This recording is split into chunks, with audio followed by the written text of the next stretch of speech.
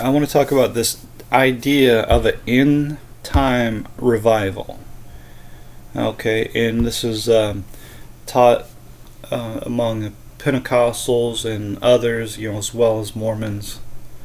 And it's the idea that the church is going to, re- there's going to be a great revival. Alright, so in other words, if you go to a mega church, give them all your money, there's gonna the church is gonna grow and there's gonna be blessings beyond belief. All right, so this that's basically what they're teaching. Just give them the money. All right, just shut up, give me the money, and uh, everything's gonna be wonderful. All right, the problem with that is it's not biblical. It's not supported in the Bible. If you um, follow my videos, you'll you've heard me many times talking about Matthew 24, Mark 13, Luke 21, where the world is going to get worse and worse and worse. It's going to get worse before it gets better, and it's only going to get better upon the return of our Lord Jesus Christ. So let's get into the crux of the matter here. What I want to share with you. All right, so for the restoration of the New Testament church, um,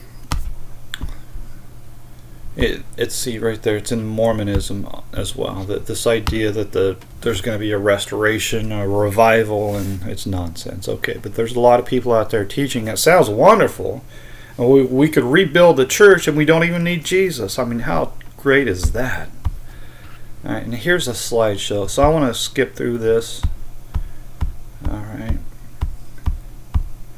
and let's get to image 21. And here, this is interesting. Now I found the image for this, so we can, it's a little bigger. We could do this if we wanted. But I think we can see it pretty good. And notice here, it's very interesting to me that we go from zero, which is the birth of baby Jesus. Okay, and then we go to 100, and then 311, imperial Christianity. Is that another word for the Roman Catholic Church? uh, I don't know. But then, you know, 590, nothing. But then, isn't it interesting? You see 400 to 1450. Excuse me. So, basically, they call that the Dark Ages. Think about this.